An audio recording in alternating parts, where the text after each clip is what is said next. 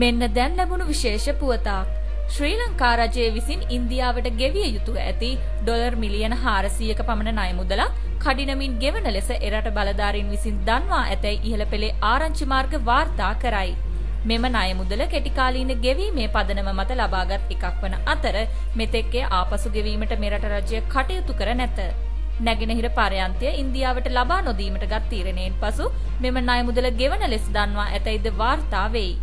එමෙන්ම කොරෝනා වෛරසය සඳහා එන්නතක් විදීමෙන් පසුව පවුල් සෞඛ්‍ය සේවිකාවක් ආසාත්මික තත්ත්වයක් ඇතිවීමෙන් රෝහලට ඇතුළත් කර තිබේ. පිළියන්දල සෞඛ්‍ය වෛද්‍ය නිලධාරී කාර්යාලයට අනුයුක්තව සේවය කරන නිලධාරිනියකට මෙසේ ආසාත්මික තත්ත්වයක් ඇති වී ඇත. ඊයේ දිනේදී පිළියන්දල රෝහලේදී එහි කාර්ය මණ්ඩල සමාජිකයන් 60 දෙනෙකුට පමණ මෙම එන්නත ලබා දෙනු ලැබීය.